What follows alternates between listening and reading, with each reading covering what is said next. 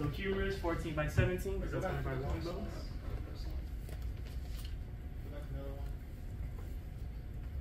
Did you explain all the artifacts, different types of artifacts that occur on Mm. mercenaries? Mm-hmm. I wasn't paying attention, I'm sorry. That's okay. I'll be a bad student, I wasn't listening. He did say jewelry, bra, Jewelry, bra, clothing. clothing, buttons, anything that might get in the way of the image. What about if they have bandages, like on their fingers or hands? If they have a, like a splint, Yep, no. Take it off. you just take it off, or do we have No. to ask about it first? Ask. Don't we ask the nurse to do it? Yeah, but be very careful on that. And I brought that up for a reason, guys. You can actually get in really big trouble if you just remove those, and you'll see a lot of techs do that. Yep. But you need to always confirm with the ordering physician, ordering nurse first, and get that on documentation. They can come back and say, well, you messed up our infection, or you made the injury worse, or you didn't ask permission first, blah, blah, blah. Always double check, confirm, document, when that stuff. And just again, just to reiterate, we're going to be doing these uh, positions upright or recumbent, depending on patient condition and uh, what they're able to do.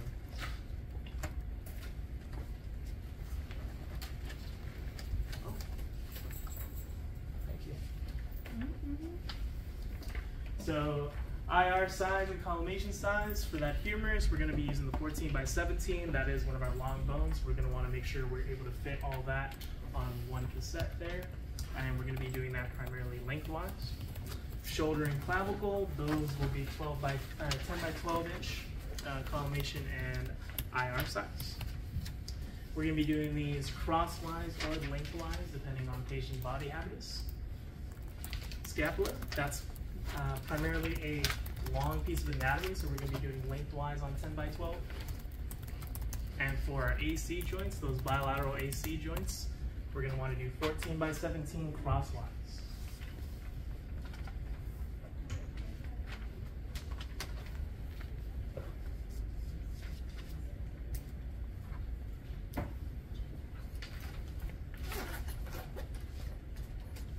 So do make note of those orientations because it is going to vary per body part. I believe Anthony made this point the other day. Always think about the shape of the anatomy that you're imaging. It's kind of like a good little clue, indication how you're going to turn that cassette. Think about the humerus. It's long, right? It's long lengthwise. Shoulder and clavicle, they're more wide. So we do the crosswise. Scapula is what? Long. Mm. Lengthwise. AC joints, wide. So crosswise again.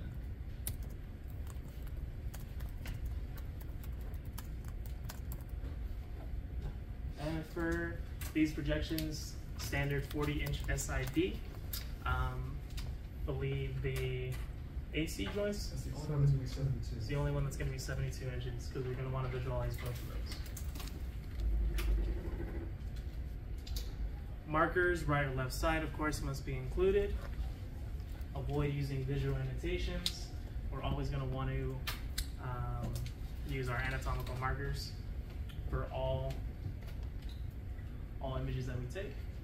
But Mr. Hernandez, my text always use digital markers. And they say it's okay. I wanna do what my text says. We always use anatomical markers. The registry will always ask, we want to use anatomical But my text markers. says that's the only way to do it, that's the best way. The registry doesn't care what your text says. Anatomical markers, always. Good answer. Alright. So radiation protection, of course, we're gonna want to try and close that collimation. Uh, not too much is to not clip off any anatomy, but we do want to have some close collimation, especially on our, for example, clavicles and AC joints. We're going to use what's called a slit collimation. Since those are pretty small pieces of anatomy, we're going to want to close those down uh, vertically. Gonadal shielding present, and optimal technique factors. So adjusting the KVP and mass to make sure we have optimal penetration while minimizing patient use. You said slit collimation? Slit collimation, so it's just basically a slit. And it is referred to as such when it's in that slit, like a very long horizontal shape. You guys should have seen in lab this week, yes? Mm-hmm. I just, I Go. I couldn't hear if you said slit. Oh yeah, slit, S-L-I-T, sorry. So patient instruction, of course, we're going to explain and uh, you can even demonstrate what the position is for the patient. Respiration is going to be suspended for most of these positions.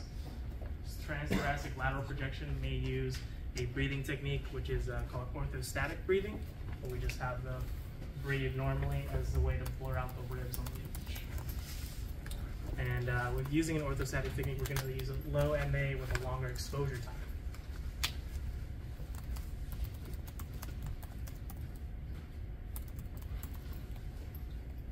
All right. So we're going to go over some projections of the shoulder here.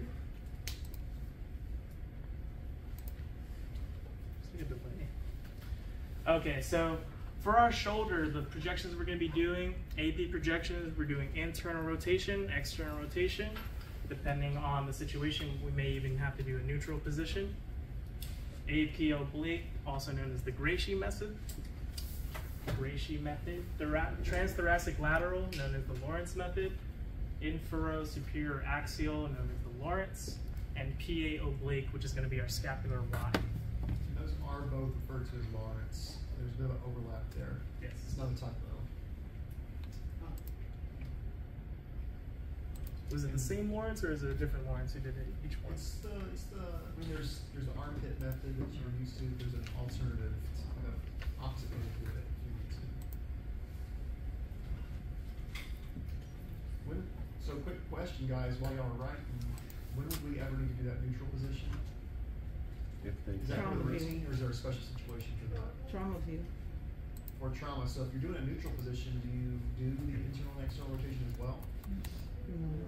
You do not, correct, because you just play it as it lies, like it's say in golf, play it as it lies. You cannot manipulate that arm if there is risk of trauma or dislocation. No. That's a test question.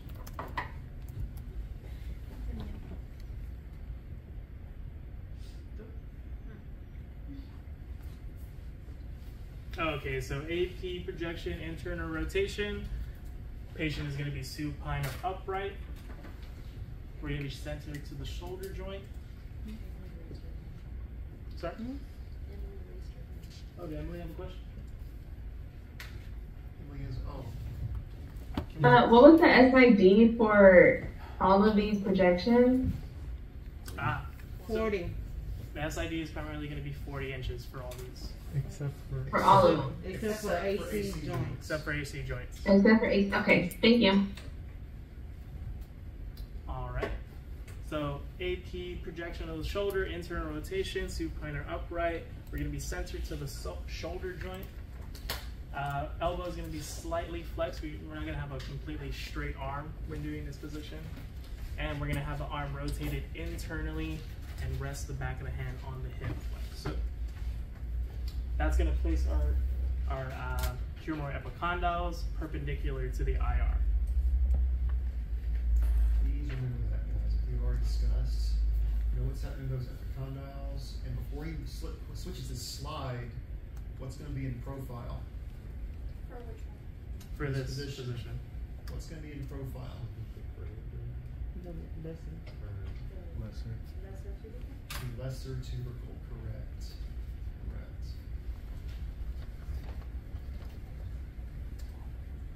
Now, I did bold those, by the way, as well, guys, upright, even though you have both those, um, options, upright's gonna be your more ideal, optimal way of getting that x-ray, if they can stand.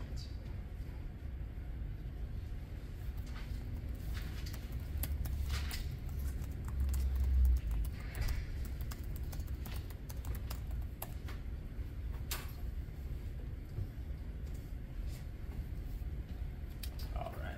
So a little bit more about this position here. Our central ray, it's going to be a perpendicular central ray. And it's going to enter one inch inferior to the coracoid process, which is that landmark that I'm sure we've all learned how to palpate in lab. Were you able to find, were y'all able to find that on each other? Some of y'all are saying no. Make sure whoever your partner is, you find that coracoid guy. That's ideal. That's the only way you're going to center any of these things properly. Make sure you're actually copying the coracoid, not something else. Yeah, that coracoid is going to be a key piece of uh, anatomy in this chapter. IR collimation. Is it really easy to find or not really on It depends on the person, No, you really. didn't try? You find it on yourself. No, I, I don't think I'll find it on myself, but I was just I tried to find it on his phone, and, and I was, Oh, yeah, I it was an couldn't find epic fail, it. and then he Yeah. found it on me, of course, cause he's the palpation king. You gotta, you gotta, once again, guys, if you're just lightly touching, you're not gonna find, you gotta dig your Yeah. fingers in. Yeah, you do have to He's the dig it. palpation Yeah. king. You heard? Yeah. Mr. Fong, you too thick and thick. And I said, I know Mr. Fong. Wait, what Was very You polite thick and thick. It is. No, I'm with his joking. needle-like fingers. He was just like, oh, like, It oh, was always really hard to find. I mean, people hated me as a lab partner because it was like always hard. Anthony's is hard to find. Yeah. Strong chest. Huh? Strong chest. Yeah. Sean, you're s- Star, Star Trek. Sean. Everybody fights for Sean when we try to go to lab. He's small. He's easy to stop it. I tried to do John's, but I don't know, I saw the stick. I don't know. Everybody's poking me. He's like, first of all, You gotta pay. I Where's said- the money? All right, guys. So collimation on this one. Of course, we're going to be using our 10 by 12 cassette here, and uh, we're going to be doing that crosswise for the most part. Of course, depending on on the anatomy and body habitus, we may go lengthwise, but primarily you'll you'll usually see this crosswise. And if we do crosswise, we're going to want about an inch and a half above the shoulder, uh, as far as light goes, and then about an inch lateral to the shoulder. And we're going to want to make sure to include the sternal end of the clavicle and the proximal third of the humerus. Please put a star by it, guys. That's why I put the star on the slide. Because you're gonna see a lot of texts over collimate on this exam. Now, y'all already heard that I'm crazy about collimation, but on this one in particular, you need to keep that collimation pretty open on the sides, because you need to see, like it says, the sternal end. I just always include the SC on there. Is vital. You see a lot of your pictures clip it off as well, even in your book. Do make note that is required for an optimized shoulder radiograph. You need that sternal end on that X-ray.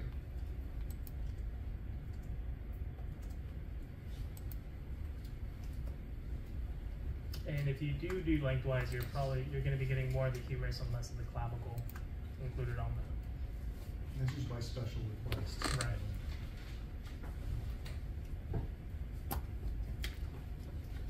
And here's what that would look like. We're going to be seeing bony and soft structures of the shoulder. And the star of the show that we're going to see here is this lesser tubercle. The greater tubercle is going to be superimposed upon the on the humeral head right there. And you're going to see that. Oh, Emily has a question. Go ahead, Emily.